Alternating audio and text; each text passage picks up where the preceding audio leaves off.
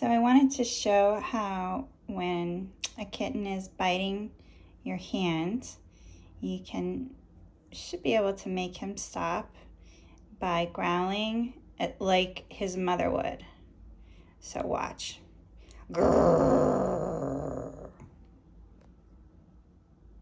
So I wanted to show how when a kitten is biting your hand, you can should be able to make him stop by growling at, like his mother would.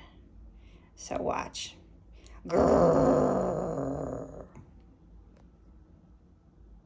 So I wanted to show how when a kitten is biting your hand, you can should be able to make him stop by growling at, like his mother would.